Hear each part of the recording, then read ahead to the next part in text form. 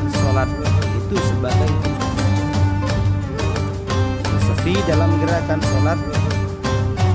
Karena dijelaskan oleh Al-Imam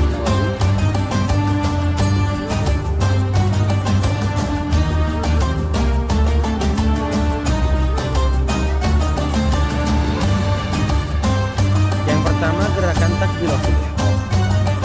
Gerakan pertama saat sholat itu takbiratul ihram.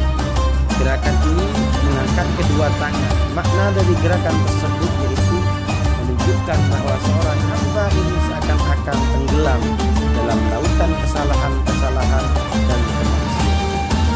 Itulah filosofi dibalik gerakan takbiratul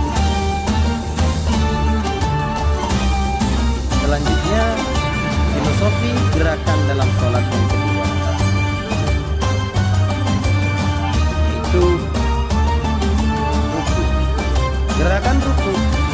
membaca surah Al-Fatihah dan surat pendek gerakan kedua adalah. Ruku memiliki makna seakan-akan seorang hamba yang sedang melaksanakan sholat itu mengatakan Akulah hambamu dan sungguh aku telah menghamparkan tanganku kepadamu. Kemudian saat bangkit dari ruku, makna permohonan kepada Allah agar dibebaskan dari segala dosa. Hingga Allah berfirman, sungguh aku telah membebaskanmu dari segala dosa. Itulah filosofi dari gerakan ruku yang kita kerjakan dalam sholat. Selanjutnya gerakan sujud. Sujud selanjutnya adalah ruku setelah sujud setelah ruku adalah sujud.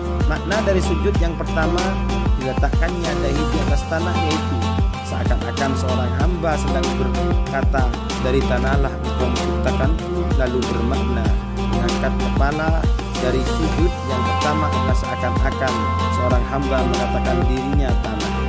Engkau mengeluarkanku kemudian makna sujud yang kedua adalah seakan-akan mengatakan dan dari dalamnya lah engkau akan mengembalikan kubur nanti meninggal itu makna.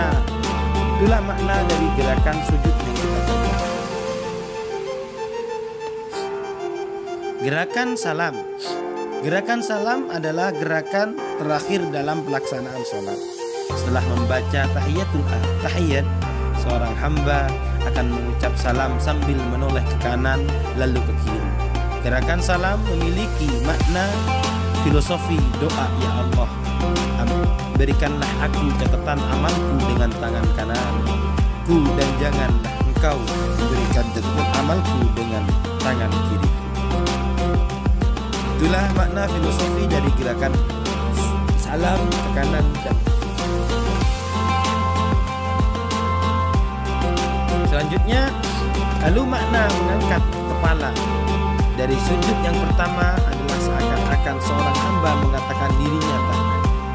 Kau mengeluarkanku kemudian makna sujud yang kedua adalah seakan-akan mengatakan dan di dalamnya engkau akan mengembalikanku dikubur dalam tanah ketika meninggal dunia. Setelah itu makna ketiga bangun dari sujud yaitu seakan-akan mengatakan dan darinya tanah engkau mengeluarkanku lagi dan dibangkitkan di hari kiamat untuk dihisap nanti. Itulah di antara filosofi-filosofi gerakan dalam solat yang kita kerjakan.